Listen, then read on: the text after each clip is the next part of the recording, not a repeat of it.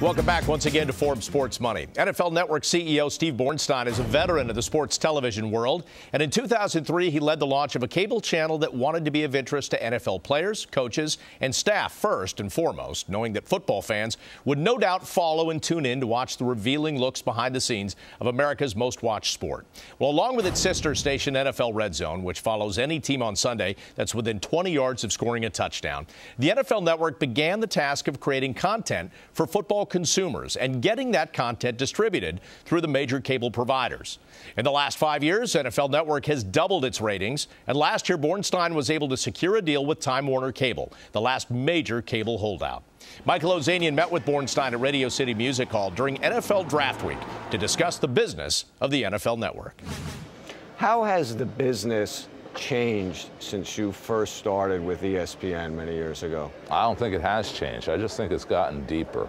What do you mean by deeper? When I started at ESPN, you know, I remember the common refrain was, you have all the sports you want on Saturday and Sunday, at the time on the three networks. That was before the arrival of the Fox net, uh, Sports Network. Nobody needs to watch college sports or uh, sports on the weekday. And what we found out was that that was wrong, that people enjoyed uh, sports, both professional and college, during the week. And that's what we'll find here. People like pro sports. People like college sports. People are going to like high school sports. And I don't. I think we've only started the, this to scratch the surface of where of what we're going to televise. Last year, one of the big things for the NFL Network was signing Time Warner Cable. Now your households are above 70 million nationwide.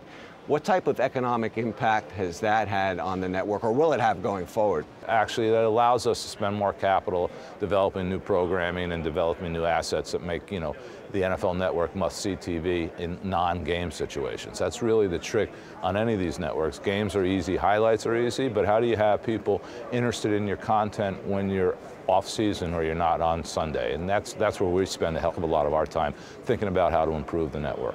How have all the new technologies that have come about in the last few years changed the programming and what type of content decisions you make? Well, I don't know if it really changes the content. You know, the touch points with our consumer, with our fans are only increasing. So, you know, we get very excited, you know, we did a few years ago when we took our internet assets in-house. We get very excited with smartphones because it's just another touch point for us to communicate and be in, in contact with our fans. And that's where the consumption is really being driven right now. I mean, biggest percentage increases we have are in the mobile space. What about expanding outside of the United States? Do you think that's a growth opportunity? Well, yeah, I mean, we have a pretty big, broad footprint already. We have 5 million homes in, in uh, Canada, and we have another I think 5 million homes in Latin America. So, I mean, we're almost 10 million homes uh, uh, that are watching us now on a 24-hour, seven-day-a-week basis. We're looking at the UK. We do two. do, we have done a game there now for the last six years. We're looking at we're expanding this year to a second game.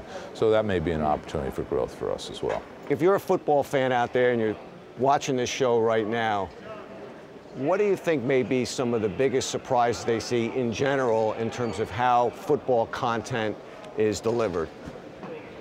I think the best answer to that question is it's going to be a multi-screen answer. I think, I think the days of sitting down and watching a game from beginning to end, watching one game beginning to end are probably behind us. I think people are going to consume these games uh, on multiple screens in their home, on their way to the soccer match, and other areas outside of the home where they're consuming football.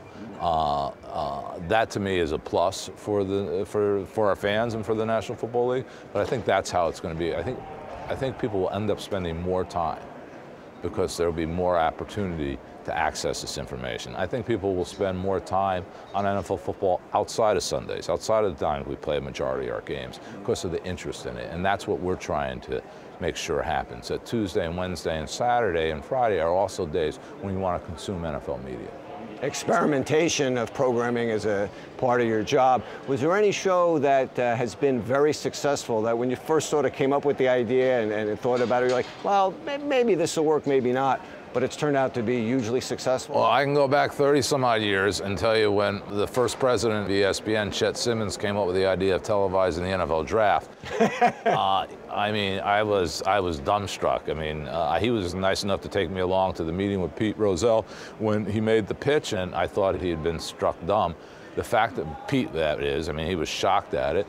And, and the fact is, it became, you know, uh, became a, a, a, national holiday. They used to hold the draft on a Tuesday morning, and people would start calling in sick from work to watch the draft. Going back to your days at ESPN, right up to the present, what do you consider the biggest mistake that you learned from, and then that subsequently helped you going forward?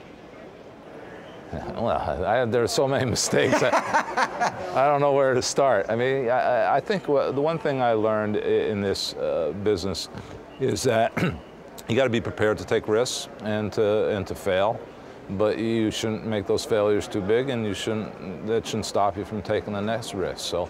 You know, I, I had no idea when we moved the draft to prime time that it was necessarily going to work, but we have an organization here at the NFL that wishes to innovate, and so it did innovate. And, and, and, if it hadn't worked, we would have changed plans. It turned out to be a pretty big success. So I guess my best lesson was don't, don't be afraid to continue to innovate. How satisfied are you right now with what you've done with the NFL Network? We, we've set out what we want to do. It may have taken us slightly longer than we'd wanted, but we accomplished what we wanted, which was a fully distributed network that's televising and talking football 24 hours a day, seven days a week.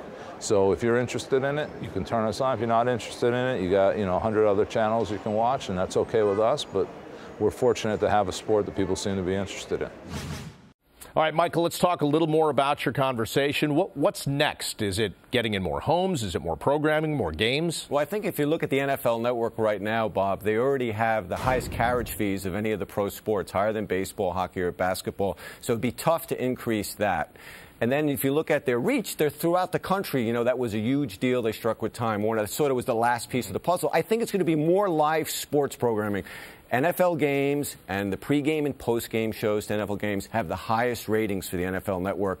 And I think all this other ancillary program, kind of could add some stuff, but really at the end of the day, people want to watch live sports, and I think they're going to expand their reach there. Well, they get to see the games 13 times a year on the Thursday night package. But you and I have talked about this. What if they ever decided to test the market with that package and sell it off to another network? Wouldn't that then dilute the value of the NFL network? I agree 100%. I think they're more likely to keep it. Uh, I think what's a little sensitive here is they probably can't add too many more games there because then, you know, they start to maybe infringe. When they have the good games, what are their partners, ESPN, Fox, and so forth, that pay that big money for rights fees? It's probably not going to make them too happy. So I think it's going to be adding more live sports programming, college, and probably some high school.